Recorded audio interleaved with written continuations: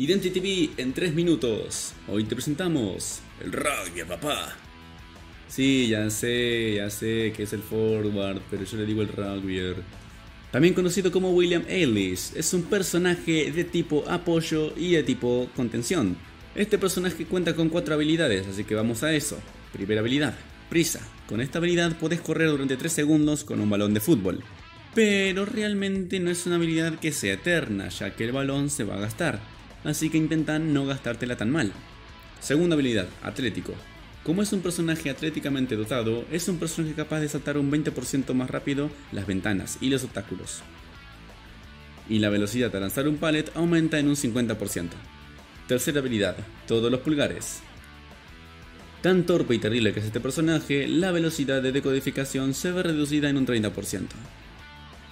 Cuarta habilidad, difícil. Su físico fuerte hace que sea más fácil escapar de las garras del cazador. La velocidad de un forcejeo aumenta en un 10%. ¿Qué es un forcejeo? Es cuando el cazador te está llevando por los globos. Ahora, apariencias. Este personaje cuenta con un par de apariencias. Speed Skating, una skin que no vas a poder conseguir. El Señor Conejo, otra skin que tampoco vas a poder conseguir.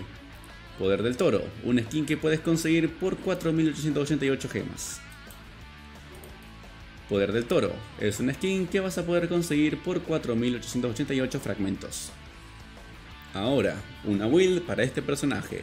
Es un personaje que la gente usa mucho para quitear, así que les da súper igual que sea de apoyo o rescatista. Pero seamos sinceros, te voy a dejar una build que te va a servir para rescatar.